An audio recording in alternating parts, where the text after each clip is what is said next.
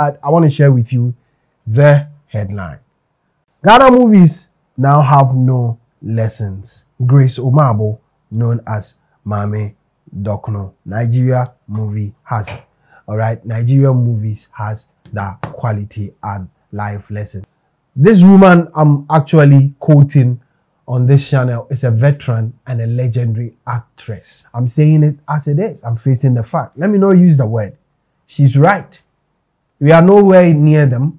We are nowhere near Nigeria. We are nowhere. We, in fact, we can't be.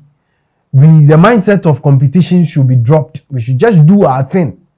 I mean, that is my opinion. That is how. That is how my work ethics are. Do your thing.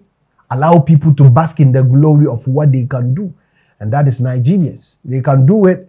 They can, they, they, we can even exchange Gollywood and Nollywood. And we will go and do Nollywood. We still fail. Nigerians will take Ghallywood, rebrand it, and do it better. I will still envy Ghallywood.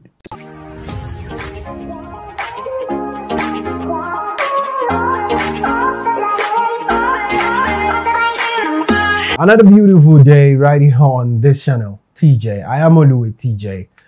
Uh, basically TJ Studios. All right, let's carry on with some new exclusives. All right, okay. Before I do that, join this family, subscribe, and let's do this. Thank you so far, so good.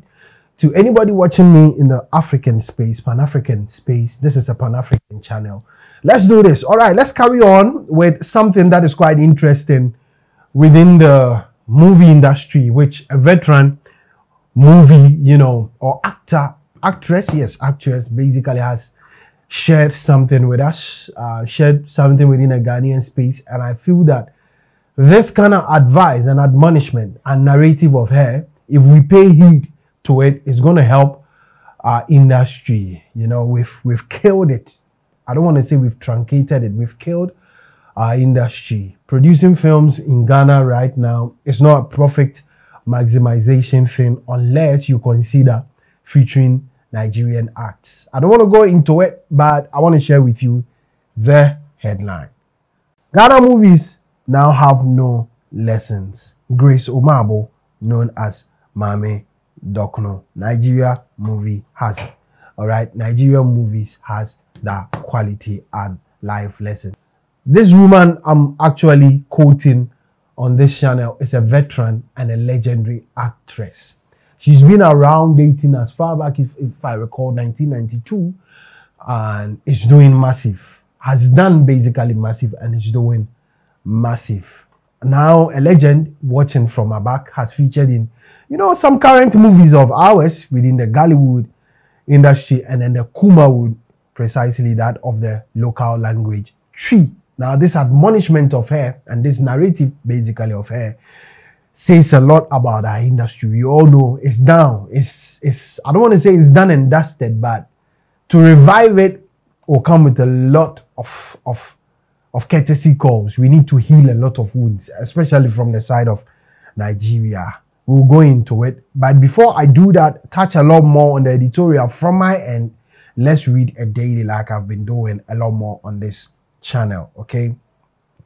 Legendary Ghanaian actress Grace Omaboe, also known as Maame Dokono, is concerned over the quality of movies produced by Ghana's movie industry. According to her, movies produced by the movie industry has no life lessons that could positively impact the lives of movies or movie lovers and Ghanaians as a whole. Maame Dokono mentioned that she only patronizes made in Ghana movies just for pleasure and not because she hopes to learn something positive from the movie. Now, I'm quoting it. I look at it in quote or in bracket, the movie industry, and I laugh in my head because I don't see much lessons in what they are doing these days. I listen to it and maybe I watch it for fun of it. She said in a report on asaaseradio.com. She also commented on roles and cast in modern movies and wondered why young actors were made to play the roles of old people when there are elderly actors in the movie industry. She said, but during our time, we were not many, just a few of us. When a father should play a father role, he's an old man. An elderly man, he's not made up with mustache and all that, powder and all that. She recounted a time when she had to reject a role in a Kumawood movie because the producers wanted to cast her as the wife for a young actor, Wayne. I remember one time they asked me to come and do a Kumawood movie, and somebody was supposed to play my husband. I said, Ah, how can a small boy like this be play my husband? You know, maybe I should mention the name, Lil Win. Yes, playing my husband. No, it can't happen. I will not play that role because what at all is he going to tell me? So I didn't play the role, or I didn't play the role in bracket, and they got angry with me. She narrated. We we cannot go aback and pretend she's she, she's there's, there's 95 or 99 percent truth in what he's saying.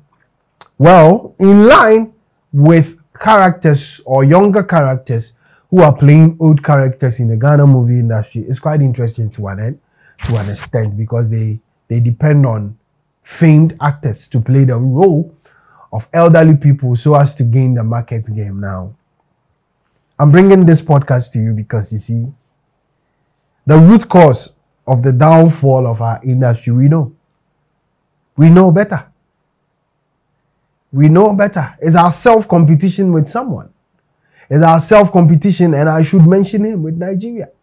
Anything about Ghana, anything about any Ghanaian competing with, with anyone in any country is Nigeria.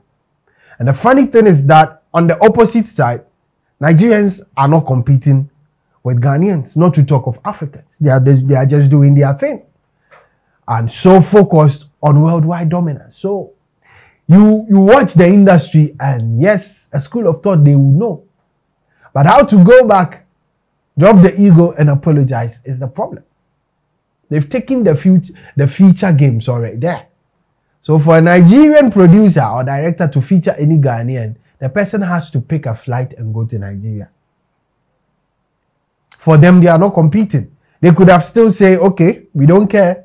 We'll do our movie. Go, go, go, go ahead, Ghana. But they still do movies and feature Ghanaians because they understand business. They understand that they still need to tap into the Ghana market. They need money. They don't care about the bruha. The narrative of Mami Dokono is like we picking an elderly or a young man to play the role of Peter Dochi, the late, you know, Sam Loco Efe, who I respect so much. All right. And all these legends, Amaechi Muonagor. All right. We are killing fathers. We are killing legends. We are kill, killing the, the career of elderly people who can play the role of an elderly person naturally. And because we think Lil Win would create a comic relief on that role, we just pick him. And what happens is that when you watch these movies, I respect Lil Win. Lewin don't take it in a different context. It has comedy and a whole lot, which does not reflect on the character of the person. Look at the um, Aki and Pawpaw, Chinedu Ikedieze, all right, era. They played their roles as children with elderly people. Sam Loco Efe, Amaechi sometimes to an extent, extent a mid-elder like Mr. Ibu Charles Okafor. It makes the movie natural because they will exhibit natural instincts of, of an elderly person, and even if they are supposed to act in a comic way, they try or they do it in line with it. They don't just try, they do it. So this narrative of Maame Dokono is true. Basically true. You don't pick Amaechi Muonagor and then dress up who can I use, who can I use, who can I use any young Nigerian actor to play a role with him. It can happen maybe just once in a while, but it's becoming too rampant and random. When we need to feature a young act to suit ourselves. The whole summary of what I'm saying is that Maame Dokono may have this point, but to an extent, I beg. To an extent, I beg. We killed our music, our movie industry with the narrative of charging exorbitant amounts to deter people and Nigerians for that matter from shooting here. And after that, we've seen a nosedive of our movie. We've said this on this channel a lot of times. We didn't learn our lessons. We've done same with our movie music industry. Another policy. Play Ghana. And we are seeing the end game of it. 2024 has been a slow year. I want to touch on 2024, Ghana's music industry in 2024, and how, you know, it has affected us. How the disallowance of Nigerians has affected our game and our industry. And I said it the last time. First time, no be fool. Second time, no be fool. Let's say the play Ghana is the second time. Third time will be will be. I don't want to use the word here. I know some of my people will come for me, but I'm saying it as it is. I'm facing the fact. Let me not use the word. She's right. We are nowhere near them. We are nowhere near Nigeria. We are nowhere. We, in fact, we can't be. We, the mindset of competition should be dropped. We should just do our thing. Me, that is my opinion. That is how. That is how my work ethics are. Do your thing. Allow people to bask in the glory of what they can do, and that is Nigerians. They can do it they could, they, they, we can even exchange Gollywood and Nollywood. And we will go and do Nollywood. We still fail. Nigerians will take Ghallywood, rebrand it, and do it better. I will still envy Ghallywood. It is just us. I'm not saying all of us, but some of us, majority of us. All right. So Grace Omaboe, you have a point. I salute you for talking out, for speaking out. Sorry, and the least said about the Ghana movie industry, the better. It is not a venture you invest in. It you invest in. You just should try short skits and this and all these. All right. Okay. So this is it on today's exclusive on the editorial session. I don't know if I'm, I made sense here. You can share your thoughts with me in line with today's topic. Share your thoughts with me and let's do this together. All right. So the good news is next week or um, 17th of August, the new shows are ready.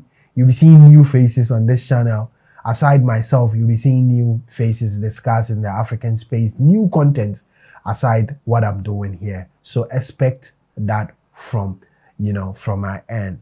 Okay. I told you I needed to wait and make sure we do it and do it well so that it will suit you and suit the channel as well. This is TJ Studios. I'm Olua TJ.